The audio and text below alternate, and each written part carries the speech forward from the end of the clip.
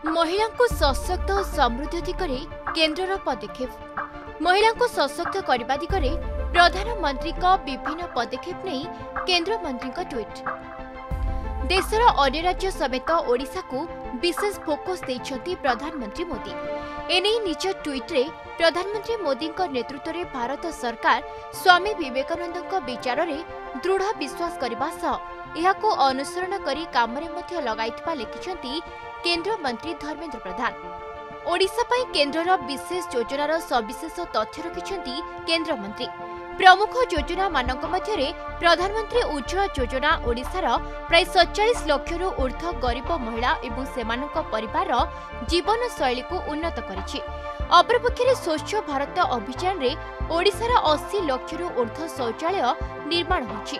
ପ୍ରଧାନମନ୍ତ୍ରୀ ସୁରକ୍ଷିତ ମାତୃତ୍ୱ ଅଭିଯାନର ଲାଭ ପାଇବା ମଧ୍ୟରେ ଓଡ଼ିଶା ଶ୍ରେଷ୍ଠ ପାଞ୍ଚ ରାଜ୍ୟ ମଧ୍ୟରେ ରହିଛି। ଦେଶର ଗରିବ ମହିଳାଙ୍କୁ ଆଠ କୋଟି ଏଲ୍ପିଜି ସିଲିଣ୍ଡର ପ୍ରଦାନ ଜନଧନ ଏବଂ ମହିଳା ଶକ୍ତି କେନ୍ଦ୍ର ଭଳି ସମାବେଶ ଆର୍ଥିକ ଯୋଜନା ଗ୍ରାମାଞ୍ଚଳର ବାଇଶ କୋଟି ମହିଳାଙ୍କୁ ସଶକ୍ତ କରିଛି।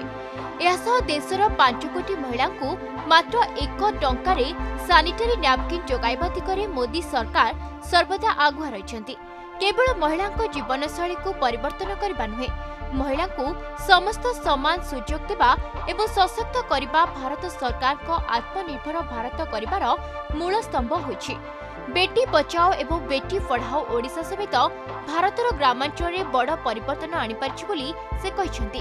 ପ୍ରଧାନମନ୍ତ୍ରୀ ନରେନ୍ଦ୍ର ମୋଦିଙ୍କ ଦୃଢ଼ ଇଚ୍ଛାଶକ୍ତି କାରଣରୁ ଆଜି ଦେଶର ମା ଓ ଭଉଣୀମାନେ ଶୌଚ ଏବଂ ଜାଳେଣୀ କାଠ ପାଇଁ ଜଙ୍ଗଲ ଉପରେ ନିର୍ଭର କରୁନାହାନ୍ତି।